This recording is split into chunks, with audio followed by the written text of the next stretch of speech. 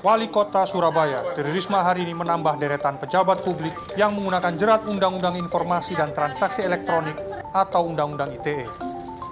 Dari data Jaringan Advokasi Kebebasan Berekspresi di Internet, SafeNet menunjukkan dari 245 kasus Undang-Undang ITE antara 2008 sampai 2018, 35,9 persen pelapornya adalah pejabat publik. Jumlah ini paling banyak dibandingkan kelompok pelapor lainnya, seperti korporasi dan masyarakat awam. Amira Paripurna, peneliti studi hukum hak asasi manusia Universitas Airlangga Surabaya, menyayangkan Risma menggunakan Undang-Undang ITE untuk memenjarakan orang yang diduga menghinanya. Menurutnya, ada empat pola mengapa pejabat publik menggunakan pasal-pasal karet dalam Undang-Undang ITE. Salah satu pola inilah yang menunjukkan mengapa Risma memanfaatkan pasal-pasal karet. Sebenarnya saya lebih menyoroti kepada tren penggunaan UU ITE terkait dengan pasal 27 dan 28 dan 45 dan 46 ini.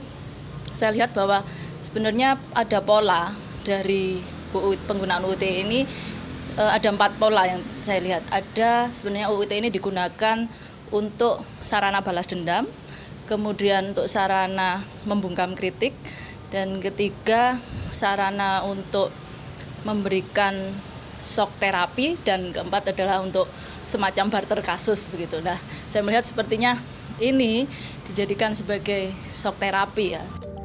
Menurutnya, sebagai pejabat publik, Risma seharusnya memiliki keluasan suasana hati. Amira mengungkapkan ada pendekatan lain di luar jalur hukum untuk kasus semacam ini, misalnya mediasi. Hal ini menurut Amira jauh memiliki nilai edukasi dibandingkan menunjukkan kekuatan kekuasaan. Apalagi pelaporan ini memiliki dampak yang sangat berat bagi pelapor dan keluarganya, terutama anak-anak. Risma melaporkan Zikria Zatil, ibu rumah tangga asal Bogor karena dianggap menghinanya melalui media sosial. Zikria mengaku menghina Risma dengan sebutan kodok sebagai bentuk pembelaan terhadap Gubernur DKI Jakarta, Anies Baswedan. Menurut psikolog sosial Universitas Katolik Widya Mandala Surabaya, Desi Kristianti, Zikria termasuk individu dengan tanda-tanda celebrity worship syndrome atau sindrom pemujaan idola. Nah biasanya dalam hal ini ketika ada polarisasi dua, dua kelompok ini, kemudian muncul yang namanya ada in group, ada out group. Si ibu ini tentunya in groupnya adalah uh, kelompoknya Anis. Nah biasanya apa pun yang dilakukan oleh out group yang dianggap uh, bukan in group, dianggap musuhnya, maka mungkin dia tidak akan suka, dia akan membenci, muncul prasangka, muncul stereotipi. Desi melihat yang dialami Zikria tidak lepas dari terbelahnya pandangan politik di masyarakat. Zikria terjebak dalam polarisasi kelompok ini sampai memiliki kecenderungan sindrom pemujaan idola tersebut. Sindrom ini membuat orang menjadi tidak bisa berpikir jernih dan objektif.